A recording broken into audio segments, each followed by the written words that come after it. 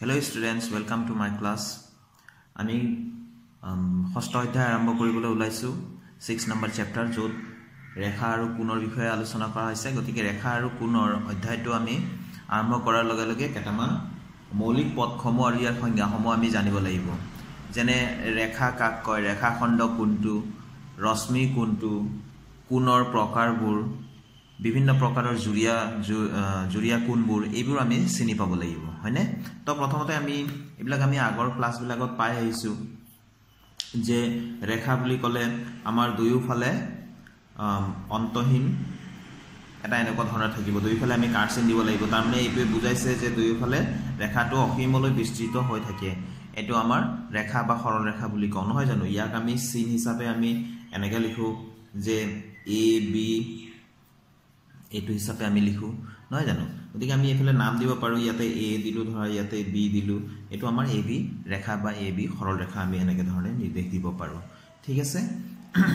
তো আমি small letter যদি দিওঁ স্মল লেটাৰ ধৰি লৈছোঁ এইটো এটা ৰেখা সৰল ৰেখা। ইয়াক আমি স্মল লেটাৰ দিও নাম দিব পাৰোঁ। স্মল লেটাৰ দি নাম দিলে আমি কেৱল এফালেহে দিম। ঠিক আছে? এইবিলাক তোমালোকে আগৰ শ্ৰেণীত পাই আহিছা তথাপিও এবাৰ এবাৰ আমি চাই যাম। তো আমি এই ৰেখাটোৰ পৰা যদি এইটুকুৰ এনেকৈ কাটি উলিয়াই দিওঁ ধৰি লৈছোঁ এইটো। কাটি উলিয়াই দিলোঁ। এইটোক এতিয়া আমি ৰেখাখণ্ড বুলি ক'ম। মই নাম দিলোঁ ধৰি লৈছোঁ ই এফ এইটো ৰেখাখণ্ড। E F ৰেখাখণ্ড। ইয়াক যদি আমি চিম্বলিকেলি আমি যদি লিখিব যাওঁ বা চিন হিচাপে যদি লিখোঁ ই এফৰ ওপৰত এইটো ই এফ এডাল ৰেখাখণ্ড বুজোৱা যাব এইটোৰ পৰা আমি কি বুজিম? যে ই এফ এডাল ৰেখাখণ্ড এইটোৰ পৰা আমি কি বুজিম? এ বি এডাল ৰেখা বা সৰল ৰেখা হয়নে? ৰশ্মি বুলি ক'লে ৰশ্মি বুলি ক'লে আমাৰ এফালে এণ্ডিং পইণ্ট থাকিব শেষ থাকিব কিন্তু এফালে শেষ নাই এফালে গৈয়ে আছে। যেনেকৈ আমাৰ এটা লাইটৰ পৰা নিৰ্গত হোৱা ৰশ্মি। হয়নে? পোহৰৰ ৰশ্মি এটা লাইট এটা ইয়াত আছে ইয়াৰ পৰা পোহৰবোৰ এনেকৈ এনেকৈ গৈ থাকিব নহয় জানো? গতিকে এইবিলাক আমাৰ ৰশ্মি। ৰশ্মিবিলাকৰ নামো আমি এনেকৈ আগৰ নিচিনাকৈ আমি নাম দিব পাৰোঁ ধৰি লৈছোঁ এক্স আৰু ৱাই কিন্তু ইয়াক আমি যদি চিহ্নৰে বুজাব যাওঁ যেতিয়া আমি লিখি যাম এক্স ৱাইৰ ওপৰত। এই ধৰণে আমি এফালে দিম এইটো এক্স ৱাই ৰশ্মি বুজাব। ঠিক আছে? এইটো হ'ল ৰেখা। এইটো ৰেখাখণ্ডক বুজোৱা যায় এনেকৈ। মানে এটা ৰেখাৰ পৰা কাটি ওলোৱা এইটুকুৰ ৰেখাখণ্ড ৰেখাখণ্ড আৰু এইটো ৰশ্মি। হয়নে? এই ধৰণে আমি এইবিলাক তোমালোকে আগতে জানা তথাপিও আমি এবাৰ এবাৰ চাই লৈছোঁ। তো বিভিন্ন প্ৰকাৰৰ আকৌ কোনবিলাক আছে। কোনবিলাক কি কি আছিলে? আমাৰ প্ৰাথমিক কোনবিলাক আছিলে? যে সূক্ষ্ম কোণ যিবিলাক শূন্য ডিগ্ৰী আৰু নাইণ্টি ডিগ্ৰীৰ মাজত থাকে। তাৰমানে যিবিলাক কোণ শূন্য ডিগ্ৰীতকৈ ডাঙৰ কিন্তু নাইণ্টি ডিগ্ৰীতকৈ কম যেনেকৈ ছিক্সটি ডিগ্ৰী এটা। এইটো আমাৰ এটা সূক্ষ্ম কোণ নহয় জানো? এতিয়া কোণবিলাক বুলি কওঁতে আমি কোণৰ নামাকৰণ আমি এনেকৈ দিওঁ নহয় জানো? ধৰি লৈছোঁ এক্স ৱাই জেড। ইয়াক আমি লিখোঁতে এক্স ৱাই জেড কোণ বুলিও লিখোঁ বা তুমি জেড ৱাই এক্স কোণ বুলিও লিখিব পাৰা বা তুমি অকল ৱাই বুলি লিখিলেও হ'ব। এক্স নহয় কিন্তু এইটো মাজত য'ত শীৰ্ষবিন্দুটো আছে কোণৰ শীৰ্ষবিন্দু এই ৰশ্মি দুডালৰ শীৰ্ষবিন্দু য'ত আছে এইটো এইটো হ'ল কোণ। হয়নে ইয়াত ৱাই আছে নহয় ৱাই লিখিম। যদি আমাৰ ইয়াত যদি এনেকৈ থাকে যে পি কিউ আৰ এনেকুৱাকৈ যদি পি কিউ আৰ কোণ এইটো কোণৰ নাম কি হ'ব? পি কিউ আৰ বা কিউ আৰ কিউ পি এই ধৰণে লিখিব পাৰোঁ বা কিউ কোণ ঠিক আছে? তোমালোকে জানা এইবিলাক? তো নাজানিলেও এইবিলাক একো ডাঙৰ কথা নহয়। এতিয়া বুজি পাইছা চাগে কেনেকৈ লিখিব লাগিব কোণৰ নামাকৰণ ৰেখা নামাকৰণ ৰেখাখণ্ডৰ নামাকৰণ ৰশ্মিৰ নামাকৰণ নহয় জানো? তো আমি সূক্ষ্ম কোণৰ কথা কৈ আছিলোঁ যে সূক্ষ্ম কোণ কোনটো নব্বৈ ডিগ্ৰীতকৈ সৰু হ'ব লাগিব কিন্তু শূন্য ডিগ্ৰীতকৈ বেছি হ'ব লাগিব। যেনে sixty degree thirty degree forty five degree এইবিলাক কোণবিলাক আমাৰ সূক্ষ্ম কোণ তাৰপিছত কি আছিলে? সমকোণ। সমকোণ মানে কি? সম্পূৰ্ণ নাইণ্টি ডিগ্ৰী কোণ। এনেকুৱা যিবিলাক আমি দৰ দৰ্জা খিৰিকী চৌকাঠবোৰ দেখিছা? এই কোণবোৰ দেখিছানে? এনেকুৱা ঘৰৰ খুটাবোৰ এইবিলাক নাইণ্টি ডিগ্ৰী একদম পোন। এইটো ধৰি লোৱা ভূমি এইটোৰ ওপৰত একদম পোনকৈ যদি ৰেখা এটা টানি দিওঁ আমি এইটো নাইণ্টি ডিগ্ৰী হ'ব। কোন মান যন্ত্ৰ যদি জুখিলে এইবিলাক নাইণ্টি ডিগ্ৰী পাবা। তো এনেকুৱাবিলাক যিবিলাক কোণৰ মান নাইণ্টি ডিগ্ৰী এইবিলাকক সমকোণ বুলি কোৱা যাব। কি কোণ? সমকোণ। নাইণ্টি ডিগ্ৰী যিবিলাক থাকিব এইবিলাক সমকোণ ৰাইট এংগল বুলিও কয়। তো আকৌ নাইণ্টি ডিগ্ৰীতকৈ বেছি যদি হয় যেনে এইটো নাইণ্টি ডিগ্ৰীটো এইখিনিলৈকে আছিল নহয় জানো? আমি জানো নাইণ্টি ডিগ্ৰী এইখিনিলৈকে একদম পোন হ'লে ইয়াতকৈ যদি বেছি ইফালে যদি আহি গ'ল এইটো তো এইটো ধৰি লৈছোঁ এশ দহ ডিগ্ৰী এইটো কি হ'ল? নব্বৈ ডিগ্ৰীতকৈ বেছি হ'ল। নব্বৈ ডিগ্ৰীতকৈ বেছি হ'ল গতিকে এইটো কি বুলি কোৱা হ'ব? স্থলকোণ। ঠিক আছে? তো ছাত্ৰ ছাত্ৰীসকল আচলতে আমি প্ৰাথমিক জ্ঞানবোৰ আমি সম্পূৰ্ণৰূপে আহৰণ কৰি ল'ব লাগে। তেতিয়াহে আমি অংক কৰাবিলাক অংক কৰাত সুবিধা হ'ব। যিকোনো অংক বা জ্যামিতি ভালকৈ কৰিবলৈ ভালকৈ জানিবলৈ হ'লে প্ৰাথমিক জ্ঞানবোৰ তোমাৰ ফাউণ্ডেশ্যনটো ষ্ট্ৰং হ'ব লাগিব। তোমাৰ ফাউণ্ডেশ্যনটো ঘৰৰ ফাউণ্ডেশ্যন ভেটিটো যিমান ষ্ট্ৰং হ'ব যিমান শক্তিশালী হ'ব সিমান তুমি ওপৰলৈ ঘৰ বনাই গৈ থাকিব পাৰিবা। নহয় জানো? গতিকে তোমাৰ ভেটিটো প্ৰথমতে ষ্ট্ৰং কৰিবা। তাৰপিছতে তুমি এক্সাৰচাইজৰ ফালে যাব। আগতে কথা যিবিলাক আছে আমি পঢ়িব লাগে জ্ঞানবিলাক আহৰণ কৰিব লাগে। ঠিক আছে? তো আমি স্থলকোণ কৈ আছিলোঁ। স্থলকোণটো কি? নাইণ্টি ডিগ্ৰীতকৈ বেছি। গতিকে প্ৰাথমিক কোণ তিনিটা আমি কি কি আমি গম পালোঁ এতিয়া? সূক্ষ্মকোণ যিটো নাইণ্টি ডিগ্ৰীতকৈ কম। নব্বৈ ডিগ্ৰীতকৈ কম সেইবিলাক সূক্ষ্মকোণ আৰু যিবিলাক নব্বৈ ডিগ্ৰীৰ সমান সম্পূৰ্ণ নব্বৈ ডিগ্ৰী সেইবিলাক সমকোণ আৰু যিবিলাক এশ আশী ডিগ্ৰীতকৈ কম কিন্তু নাইণ্টি ডিগ্ৰীতকৈ বেছি। এশ আশীতকৈ কম কিন্তু এইটো চোৱা এশ দহ মানে এশ আশীতকৈ কম এশ বিছ হ'ব পাৰে এশ আশীতকৈ কম এশ আশীতকৈ কম কিন্তু নাইণ্টি ডিগ্ৰীতকৈ বেছি সেইবিলাকক স্থূল কোণ বুলি কোৱা হয়। স্থূল কোণ বা বৃহৎ কোণ বুলি কয় বা অপটিউজ এংগুল বুলি কয়। তো এতিয়া আমি আৰু এক প্ৰকাৰৰ ৰেখা আমি কোন পাম যিটো এডাল ৰেখা এডাল ৰেখা আছিল নহয় জানো? ৰেখাৰ যিকোনো এটা বিন্দুত এই সম্পূৰ্ণ কোণ যদি জোখোঁ এই সম্পূৰ্ণ কোণৰ মান কিমান হ'ব? সদায় এশ আশী ডিগ্ৰী মন কৰিব। এইটোক কয় সৰল কোণ। কি কোণ? সৰল কোণ। এইটোক কয় সৰল কোণ। সম্পূৰ্ণ নাইণ্টি ডিগ্ৰীটো কি? সমকোণ। আৰু সম্পূৰ্ণ এশ আশী ডিগ্ৰীটো কি? সৰল কোণ। সৰল কোণক তুমি যেই ভাগে নবনো ইয়াতে ৰশ্মি এটা থিয় কৰাই দিলোঁ। কেইটা কেইটা কোণ হ'ল? দুটা কোণ হ'ল? এইবিলাকৰ বিষয়ে পিছত আমি আলোচনা কৰিম বাৰু। এনেকুৱা ধৰণৰ ৰশ্মি যেইটাই নহওক এনেকুৱা যদি এটা বিন্দুতে যে হেৰি বহুতকেইটা ৰশ্মি থিয় হৈ আছে তো কেইটা কোণ হ'ল? এক দুই তিনি চাৰিটা নহয় জানো? কিন্তু সম্পূৰ্ণ কোণৰ মান কিমান হ'ব? জুখিলে সদায় এশ আশীয়ে হ'ব। এই এশ আশীটোক যেই ভাগে নকৰা কিয়?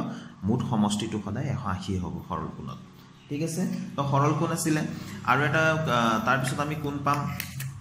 প্ৰত্যাৱৰ্তী কোণ বা প্ৰবৃদ্ধ কোণ কোনবিলাকনো প্ৰত্যাৱৰ্তী আৰু প্ৰবৃদ্ধ কোণ যিবিলাক এতিয়া ধৰি লৈছোঁ এইটো এটা আমাৰ কি? ধৰি লৈছোঁ থাৰ্টি ডিগ্ৰী ঠিক আছে? কিন্তু এই বাহিৰৰ যিটো কোণ আছে এইটোতো এটা কোণ হয়? এই কোণটোক কয় প্ৰবৃদ্ধ কোণ প্ৰবৃদ্ধ কোণ কোনটো? যিটো এশ আশী ডিগ্ৰীতকৈ ডাঙৰ কিন্তু তিনিশ ষাঠি ডিগ্ৰীতকৈ কম। এশ আশী ডিগ্ৰীতকৈ ডাঙৰ ধৰি লৈছোঁ এক্স বুলি ধৰি লৈছোঁ এইটো এক্স কিন্তু তিনিশ ষাঠিতকৈ কম। এনেকুৱা কোণবিলাকক কি বুলি কওঁ আমি?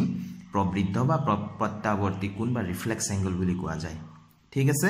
তো তিনিশ ষাঠি ডিগ্ৰীতকৈ কম কিন্তু এশ আশী ডিগ্ৰীতকৈ বেছি তেনেকুৱা কোণবিলাকক প্ৰত্যাৱৰ্তী বা প্ৰবৃদ্ধ কোণ বা ৰিফ্লেক্স এংগল বুলি কোৱা যাব? ঠিক আছে? এইখিনিলৈকে আমাৰ প্ৰাথমিক কোণবিলাক আমাৰ শেষ হয়। তাৰপিছত আমি জুৰীয়া কোণ পাম কিছুমান। এযোৰ এযোৰ কোণৰ কথা যেতিয়া আমাৰ আহে এযোৰ এযোৰ জোৰ কোণৰ কথা।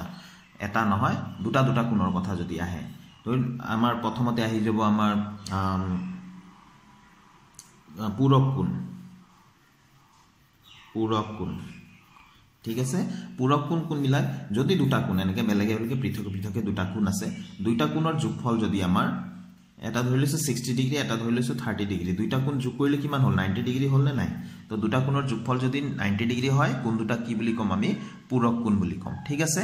মনত থাকিব যিকোনো দুটা কোণৰ যোগফল যদি নাইণ্টি ডিগ্ৰী হয় তেনেহ'লে তেনেকুৱা কোণবিলাকক আমি কি বুলি ক'ম? পূৰক কোণ। ঠিক আছে? তো আমাৰ এতিয়া ছিক্সটি ডিগ্ৰীৰ পূৰক কোণৰ মান কিমান বুলি সুধিলে তুমি কি ক'বা? থাৰ্টি ডিগ্ৰী থাৰ্টি ডিগ্ৰীৰ পূৰক কোণৰ মান কিমান বুলি ক'লে? ছিক্সটি ডিগ্ৰী ঠিক সেইধৰণে টেন ডিগ্ৰী কোণ এটাৰ পূৰক কোণৰ মান কিমান বুলি ক'লে? টেনৰ লগত কিমান প্লাছ কৰিব লাগিব? নাইণ্টি হ'বলৈ হ'লে এইট্টি তো এইট্টিটো হৈ গ'ল আমাৰ টেন ডিগ্ৰী কোণৰ পূৰক কোণৰ মান। ঠিক আছে? তো নাইণ্টি ডিগ্ৰী কোণৰ পূৰক কোণৰ মান কিমান হ'ব তেতিয়াহ'লে? নাইণ্টি ডিগ্ৰীটো নাইণ্টি ডিগ্ৰী হৈ গ'ল সম্পূৰ্ণ তো পূৰক কোণৰ মান কিমান হ'ব? জিৰ' ডিগ্ৰী আকৌ জিৰ' ডিগ্ৰীৰ পূৰক কোণৰ মান কিমান হ'ব তেনেহ'লে? জিৰ' ডিগ্ৰীৰ লগত নাইণ্টি প্লাছ কৰিলে নাইণ্টি হ'ব গতিকে জিৰ' ডিগ্ৰী কোণৰ পূৰক কোণৰ মান নাইণ্টি ডিগ্ৰী হ'ব। ঠিক সেইধৰণে আমাৰ ধৰি লৈছোঁ এতিয়া তোমাক ছেভেণ্টি ডিগ্ৰী দিয়া আছে। ছেভেণ্টি ডিগ্ৰী সুধিলে কোনোবাই ছেভেণ্টি ডিগ্ৰী কোণৰ পূৰক কোণৰ মান কিমান? তেতিয়া তুমি কিমান ক'ব লাগিব? ছেভেণ্টিৰ লগত কিমান প্লাছ কৰিব লাগিব? নাইণ্টি হ'বলৈ টুৱেণ্টি তো টুৱেণ্টি হ'ল টুৱেণ্টি ডিগ্ৰী হ'ল ছেভেণ্টি ডিগ্ৰী কোণৰ পূৰক কোণৰ মান। ঠিক আছে?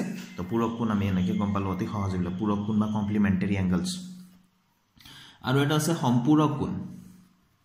সম্পূৰক কোণ বা ছাপ্লিমেণ্টেৰী এংগলছ ইংলিছ টাৰ্মবিলাকো তোমালোকে মনত ৰাখি গ'লে তোমালোকৰ ভৱিষ্যতৰ কাৰণে ভাল তো সম্পূৰক কোণ। সম্পূৰক কোণ কেনেকুৱা?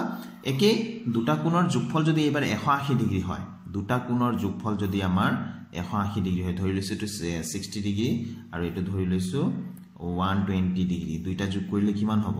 এশ আশী ডিগ্ৰী হয়নে? দুটা কোণৰ যোগফল যদি আমাৰ ওৱান এইট্টি ডিগ্ৰী হয় তেনেহ'লে সেইটো কিমান কি হ'ব? সেই দুটা কোণক কি বুলি কোৱা যাব? সম্পূৰক কোণ। হয়নে? দুটা কোণৰ যোগফল এশ আশী হ'লে সেই দুটা কি বুলি ক'ম? আকৌ এবাৰ কৈ দিছোঁ সম্পূৰক কোণ। ঠিক আছে? তো ষাঠি ডিগ্ৰী কোণৰ সম্পূৰক কোণৰ মান কিমান হ'ব? One twenty degree. One twenty degree কোণৰ সম্পূৰক কোণৰ মান ষাঠি ডিগ্ৰী। গতিকে থাৰ্টি ডিগ্ৰী কোণৰ সম্পূৰক কোণৰ মান কিমান হ'ব তেনেহ'লে? থাৰ্টিৰ লগত কিমান প্লাছ কৰিব লাগিব? ওৱান এইট্টি হ'ব লাগিব। ওৱান ফিফটি এশ পঞ্চাছ এশ পঞ্চাছ হ'ল থাৰ্টি ডিগ্ৰী কোণৰ সম্পূৰক কোণৰ মান। ঠিক আছে? তাৰপিছত আহি যায় আমাৰ সন্নিহিত কোণ। কি আহি যায়? সন্নিহিত কোণ। এডজাষ্টেণ্ট এংগলছ সন্নিহিত কোণ। সন্নিহিত কোণ কোনবিলাক? সন্নিহিত কোণ বুলি ক'লে সদায় একেলগে থকা লগালগি হৈ থকা কোণৰ কথাহে তুমি ক'ব লাগিব। যেনেকৈ ধৰি লৈছোঁ এইটো এটা কোণ ইয়াৰ লগতে আৰু এটা কোণ আছে এনেকুৱা। এই দুটা কোণ হ'ব সন্নিহিত কোণ। সন্নিহিত কোণৰ কোণৰ ক্ষেত্ৰত তুমি মুখ্যতঃ তিনিটা কথা মনত ৰাখিব লাগিব আৰু মুখ্যতঃ মই কওঁ দুটা কথা মনত ৰাখিব লাগে। যে এটা দুইটা কোণৰ এইটো সাধাৰণ বাহু নহয় জানো? এই কোণটোৱেও এই বাহু ব্যৱহাৰ কৰি আছে এই কোণটোৱেও এই বাহুটো ব্যৱহাৰ কৰিছে গতিকে এটা সাধাৰণ বাহু থাকিবই লাগিব। এক নম্বৰ সাধাৰণ বাহু বা উমৈহতীয়া বাহু বা কমন বাহু সাধাৰণ বাহু এটা থাকিব লাগিব চোৱাচোন দুয়োটা কোণৰ শীৰ্ষবিন্দু শীৰ্ষবিন্দু মানে ষ্টাৰ্টিং পইণ্ট ইয়াৰ পৰাই এই ৰশ্মিডাল হৈছে এই ইয়াৰ পৰাই এই ৰশ্মিডাল হৈছে ইয়াৰ পৰাই এই ৰশ্মিডাল গৈছে গতিকে শীৰ্ষবিন্দু এটা সাধাৰণ শীৰ্ষবিন্দু থাকিব লাগিব সাধাৰণ শীৰ্ষবিন্দু। সাধাৰণ শীৰ্ষবিন্দু থাকিব লাগিব হয়নে? আৰু তিনি নম্বৰটো কি? তিনি নম্বৰ কথাটো হৈ গ'ল এই দুটা মেইন মেইনলি এই দুটা কথা মনত ৰাখিবলৈ দুটা কোণক আমি সম্পূৰক চৰি দুটা কোণক আমি সন্নিহিত কোণ বুলি তেতিয়াহে ক'ম যেতিয়া সিহঁতৰ এটা সাধাৰণ শীৰ্ষবিন্দু থাকিব আৰু এটা সাধাৰণ বাহু থাকিব। আৰু তিনি নম্বৰটো হ'ল ইহঁতৰ উমৈহতীয়া নোহোৱা বাহু দুটা। উমৈহতীয়া বাহুটোৰ দুইফালে থাকিব। নিশ্চয় থাকিব এইটো নহয় জানো? গতিকে উমৈহতীয়া নোহোৱা বাহু দুটা উমৈহতীয়া বাহুটোৰ দুইফালে থাকিব। সেইটো হ'ল তিনি নম্বৰ পইণ্টটো ঠিক আছে? গতিকে এইটো হ'ল সন্নিহিত কোণ। তাৰপিছত সন্নিহিত কোণৰ পিছত আহি যায় আমাৰ ৰৈখিক জুৰীয়া কোণ। ৰৈখিক জুৰীয়া কোণ। ৰৈখিক জুৰীয়া কোণ। ৰৈখিক জুৰীয়া কোণ কিনো? ৰৈখিক জুৰীয়া কোণ আমাৰ সন্নিহিত কোণৰ পৰা আহিব। সন্নিহিত কোণ। এইযোৰ সন্নিহিত কোণৰ যোগফল যদি এইযোৰ সন্নিহিত কোণৰ যোগফল যদি ওৱান এইট্টি ডিগ্ৰী হয় তেনেহ'লে কোন দুটাক আমি ৰৈখিক জুৰীয়া বুলি ক'ম। তো আমি কেনেকৈ ক'ম আমি ৰৈখিক জুৰীয়া বুলি ক'লে এটা ৰেখা আমি কল্পনাই কৰিব লাগিব। ৰেখাটোৰ ওপৰত এডাল ৰশ্মি যদি এনেকৈ থিয় হৈ যায় আমি এই দুটাক আমি ৰৈখিক জুৰীয়া কোণ বুলি ক'ম। ঠিক আছে? তো আমি জানো যে এটা ৰেখাৰ ওপৰত সম্পূৰ্ণ কোণৰ মান কিমান আছিলে? এশ আশী ডিগ্ৰী। এইটো সৰল কোণ নহয় জানো? আমি আগতে পাইছোঁ। গতিকে ইয়াৰ ওপৰত তোমাৰ এইডাল ৰশ্মি এটা ৰশ্মি থিয় হৈ গ'লে দুটা ভাগ হৈ গ'ল। তো আমি ধৰি লৈছোঁ এইটো আমাৰ ছিক্সটি ডিগ্ৰী। তো এইফালে আমাৰ কিমান আহিব ওৱান টুৱেণ্টি ডিগ্ৰী। নহয় জানো? এই দুটা কোণৰ যোগফল কিমান হৈ গ'ল? সম্পূৰক হ'লনে নাই? সম্পূৰক মানে ওৱান এইট্টি তো এই দুটা কোণৰ যোগফল ওৱান এইট্টি হ'ল। এনেকুৱা এজুৰীয়া কোণক এটা ৰেখাৰ ওপৰত থকা এযোৰ কোণক আমি ৰৈখিক জুৰীয়া কোণ বুলি ক'ম। সদায় যে দেখা তেনেকুৱাই হ'ব তেনেকুৱা কথা নাই। এডাল এডাল ৰেখা ইয়াৰ ওপৰত এডাল ৰশ্মি থিয় হৈ গ'ল এইটো আৰু এইটো কোণৰ যোগফল সদায় এশ আশী হ'ব। ঠিক আছে? তো সদায় যে তোমাৰ সুবিধাজনকভাৱে এই চিত্ৰটো থাকিব তেনেকুৱা কথা নহয়। জ্যামিতিক চিত্ৰবিলাক আমি ভালকৈ বুজি পাব লাগিব বা বুজিবলৈ চেষ্টা কৰিব লাগিব। এনেকুৱা থাকিব পাৰে এইটো এটা ৰেখা ইয়াৰ তলত এইডাল এইটো আৰু এইটো কোনোকো আমি কি বুলি ক'ম? ৰৈখিক জুৰীয়া কোণ বুলি ক'ম এই দুটাকে একেলগে। এটা এডাল ৰেখাৰ ওপৰত থকা এযোৰ কোণৰ কোণকে আমি ৰৈখিক জুৰীয়া কোণ বুলি ক'ম? এই দুটা সন্নিহিত কোণ হয়নে নহয়? চোৱাচোন এইটো সাধাৰণ শীৰ্ষবিন্দু আছে এইফালৰ এটা কোণ এইফালৰ এটা কোণ এইটো সাধাৰণ শীৰ্ষবিন্দু এইটো সাধাৰণ বাহু হয়নে নহয়? গতিকে এইটো আমাৰ সন্নিহিত কোণ সন্নিহিত কোণক আমি ৰৈখিক জুৰীয়া কোণ বুলি তেতিয়াহে ক'ম যেতিয়া কোণ দুটাৰ যোগফল ওৱান এইট্টি ডিগ্ৰী হ'ব। হয়নে? তো এইখিনিলৈকে প্ৰথম মই ক্লাছ এইখিনিতে মই বেছিক কথাখিনি মই তোমালোকক ক'লোঁ। তোমালোকে নিশ্চয় বুজি পাইছা। Thank U